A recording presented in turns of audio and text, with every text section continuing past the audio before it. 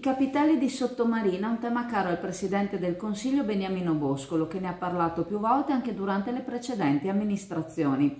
Ora a riguardo ci mette al corrente di una notizia positiva. Per il restauro delle tre edicole votive, lo scorso dicembre l'amministrazione comunale ha presentato una proposta progettuale del valore di quasi 100.000 euro, al fine di ricevere un finanziamento da parte del Ministero delle Infrastrutture e dei Trasporti.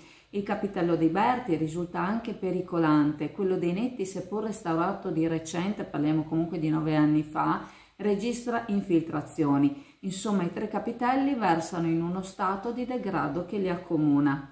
Boscolo conclude affermando che si conta di inaugurare i tre capitelli completamente restaurati per il 2026, festeggiando così i 100 anni dalla loro costruzione. Ringrazia per l'impegno il dirigente Stefano Penso, l'assessore Angelo Mancin e gli uffici.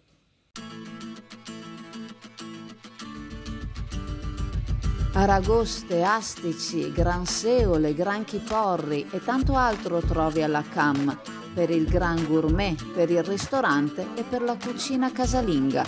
La pescheria Cam propone pescato fresco tutti i giorni e specialità che altrove non trovi. Ottimi prodotti, ottimo servizio e la comodità del parcheggio a un passo. Cam da oltre 50 anni all'isola Saloni a Chioggia.